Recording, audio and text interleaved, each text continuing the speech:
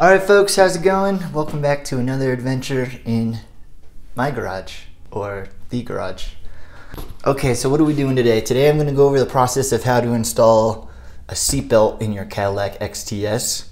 Uh, note on this job, the shop rule of thumb, anything safety related has to be brand new from the dealer. However, we're making an exception for this because Seatbelts are on national back order and it could be up to like six months to get the part. So I've made the executive decision to go with a salvaged part. A couple things that I'll check with it, and lastly, after it's installed, I'll go in and make sure the safety restraint system is happy with the seatbelt and I know it'll deploy in an accident. I wanted to go over a few projects that I've done on this car that I unfortunately didn't videotape for you guys. This customer I've had for about a year. They first came in for a check engine light. It was just the evap purge solenoid, but that's really common on pretty much any car.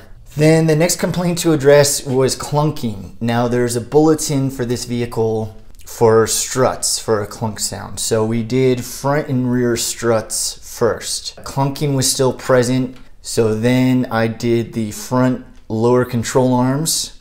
I sourced, I believe from not a sponsor, gmpartsgiant.com. I use them a lot instead of going through a local dealer because it's basically like wholesale prices. But also another tip, if you're working on GM products, Chevy, GM, uh, Cadillac, uh, AC Delco is another great brand that you know makes parts for them that you can get too.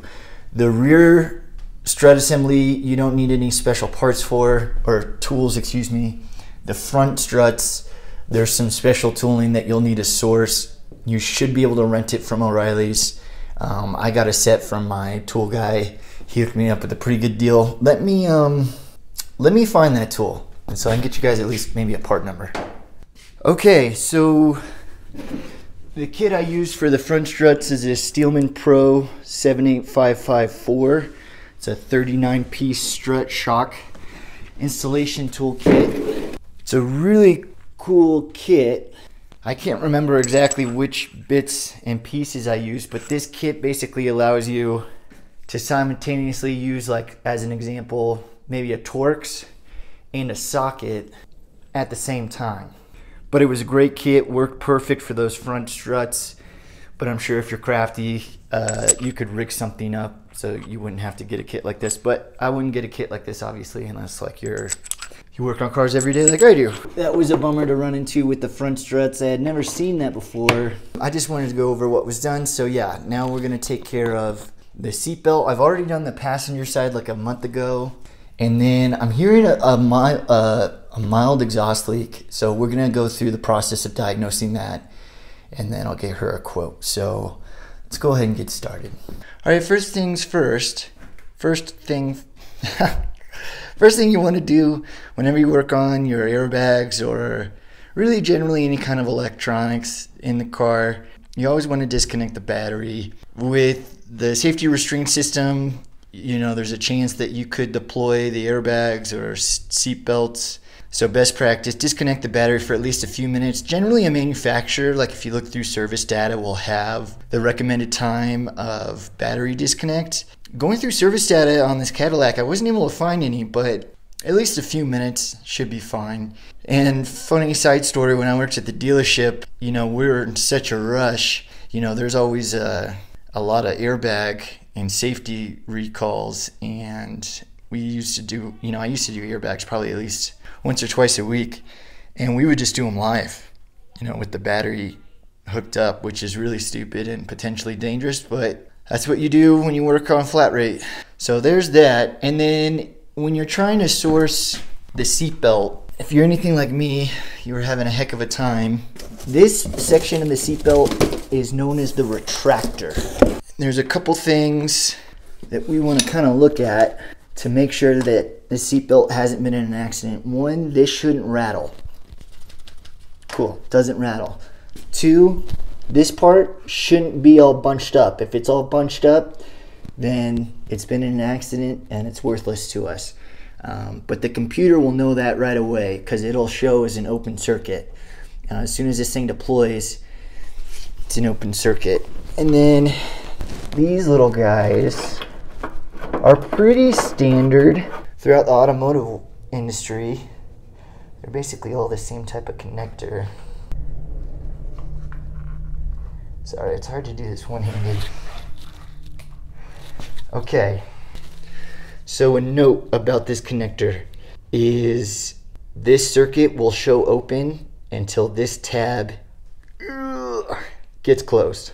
How do I know that? Well, I did I did an airbag in a seat, put the whole seat back together, forgot to close this tab, went to clear codes, wouldn't clear out, showing as an open. So make sure you close that tab. Okay, it's been a few minutes with the uh, the battery, so let's get started on this job. All right, folks. So where I like to start, there's this little tab up here that says airbag. You just pop this guy loose, and you'll see down in there it's either a seven or an eight mil. I like to use a magnetic socket for this because this little nut no, not Nate. This little nut, once you get it loose, it will want to fall all the way down and then it'll be a nightmare to find. So if you don't have magnetic sockets, yeah, this takes a 7 mil. If you don't have magnetic sockets, just make sure to have a magnet nearby.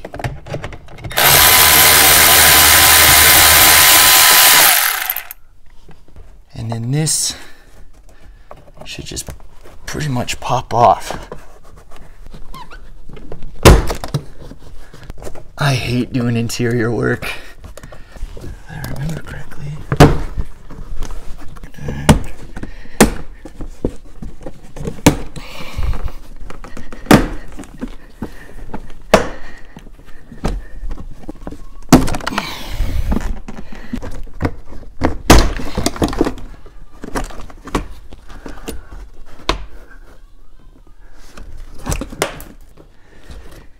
So the seatbelt that we're replacing has been de deployed, so you'll notice, I mean, this thing's locked up.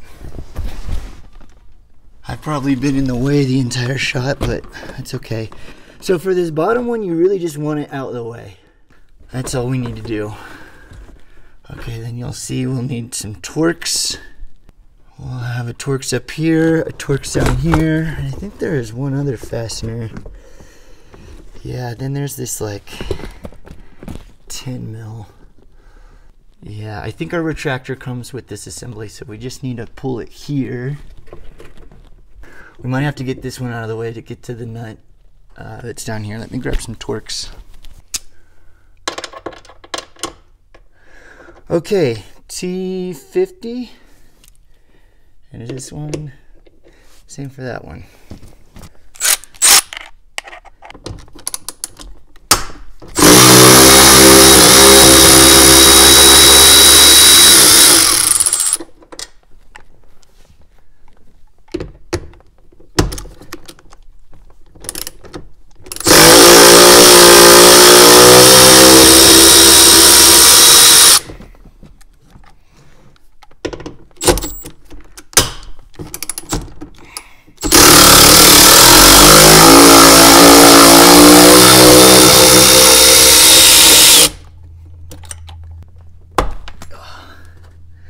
This is just called a cat claw.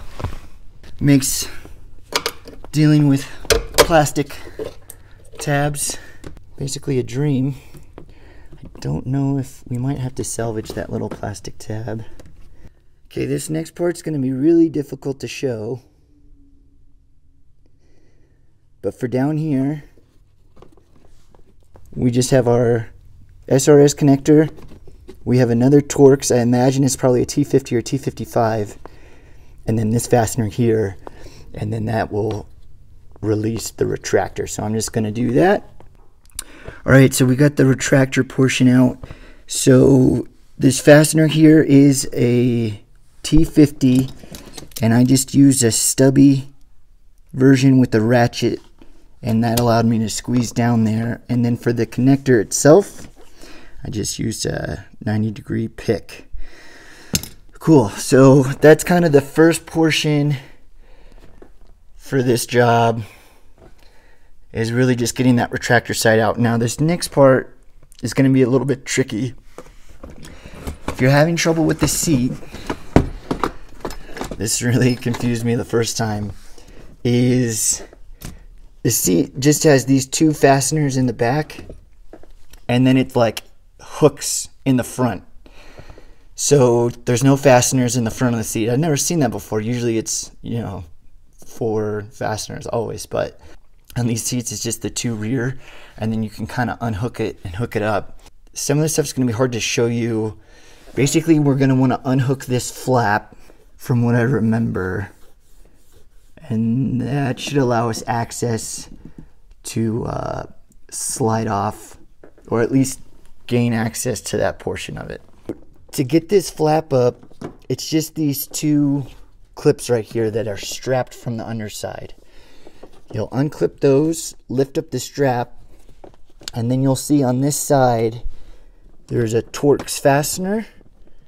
Um, what size does it take? T25 Torx. What you'll do, I don't know if you can notice that little bar slides into there. So once you get that fastener released, you'll lift up till you get unhooked from there and then push forward. And now you can see I have access to this bottom clamp down here. So it'll just be that fastener down there. I imagine a T50 and this little guy right here. And then you have this little cover that was just covering up that guy. That guy is pretty easy to get out of the way. So next part, we'll remove that. All right, so when everything's all said and done, should look kind of like this. The fastener for this portion was a T45, and the only way to get it out, the only way to have access to that T45, I released those two bolts like I was talking about earlier, and then I just used the old retractor to prop up the seat, and that was enough clearance to get to that T45. So yeah, the whole assembly is out now. And you might be wondering how to slide it all out of there. With a little bit of patience and a little bit of finagling, you can slide the buckle, this portion that all out through this slide here. It's tight, but you you can do it. Let's see, one more note. This is not a sponsor, but for cleanup afterwards, I use this stuff here because you'll probably end up getting, you know, this is really nice interior and it's very light colored. So I'll want to clean up any kind of fingerprints or shoe marks or anything that was left behind. So you'll just want to re restall in, in the reverse order. Make sure to torque everything to factory spec because this is part of a safety system and you do not want it to fail when you need it the most. Um, so we'll put it all back together put the hook the battery back up. We'll check in with the SRS system, make sure it's happy with the new seatbelt. Take it for a quick little toot around the neighborhood, make sure everything's good. Oh yeah, and we have that exhaust leak that we need to find. So let's do that before we test drive it and get the exhaust super hot. All right, so got everything back together. You know, I want to make sure this thing slides up and down the way it's supposed to the belt retracts. Now you might be worried when you get a seatbelt from the junkyard or whatever and it's not coming out. I don't know what kind of black magic in those they have in those things, but until the retractor is like installed, like the belt won't move. I don't I don't know why. I don't get it. Make sure it's clipped in, wiped down. Make sure you don't forget any tools, especially if it's a customer's car. Been hearing a lot of stories of that lately. Customers do not like it when you leave tools in there because to them it gives them an impression that you're a sloppy mechanic. You want to check all your seam lines. Check all your seam lines all the way around up top. You know, just take a minute. Make sure everything looks flush and good. It's the wrong color seatbelt, I know, but beggars can't be choosers. It took me like a month to get that one. Make sure everything's tightened down. Let's uh, hook back up the battery, see if the computer's happy with the belt that we put in, and then we'll check for this exhaust leak. Okay, so I just went in to the inflatable restraint module. I know I I call it the SRS module, uh, but manufacturers have different names for it. Um, so this they call the inflatable restraint module. Cleared out the history codes for the passenger side seatbelt. We're in the key on, engine off position. Rescan for codes and no trouble codes.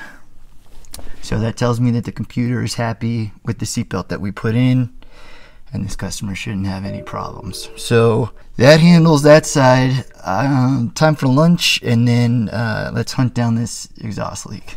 All right, folks, exhaust leak time. How do you find exhaust leaks or vacuum leaks? Well, you can use a smoke machine. I'll show you the one I have. It served me quite well over the years. It's this Autool SDT 206. So I've got it hooked up into the tailpipe, but since it's obviously a dual exhaust, I've got this side plugged up. And now we've just basically wait. So it's gonna fill and pressurize our exhaust system with smoke. And then we're just gonna wait and see. And if you guys like my shirt, my friend makes them for me, so hit me up in the comments. We'll try to get you a shirt. I don't know how the sound is. Sorry, my neighbor's getting his carpets cleaned. Um, something I like to use too when I'm finding exhaust leaks is a spotlight. It makes it kind of easier to pinpoint exactly where the leak's coming. So I've got the cover off. It took a T30 to get the cover off. And what I've seen before is even though the engine is transverse, the way that they're labeled is just imagine the front of the engine facing this way. So this is still our left side and this should be our right side. At least from what I've come across um, with other transverse V6s and the way that they were labeled. It took a while to kind of figure that out. But I'm sure that stands true with this. Um, make sure when you're doing your smoke test to do it in a ventilated area. I got the garage door open because you really don't want to be breathing this crap in. Okay, it looks like my plug might not have worked as well. Oh, we're spitting out right there. Sometimes there's little drain holes. What you would do in an ideal situation is you would just remove, you know, I'm not worried about any leaks past the catalytic converter. But sometimes there's little drain holes or little rust holes. You can see we got that going on right there. I've got this metallic tape that sometimes works. Plugging this up.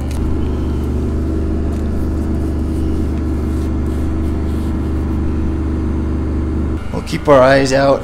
But I think this, this smoke tester takes like baby oil or mineral oil. I think mineral oil. Yeah. I don't know. Whatever they recommend. Who cares? So yeah, and then you just pretty much wait pretty potent so you can really smell when the leak's coming. Let's check, see if there's any other pinholes.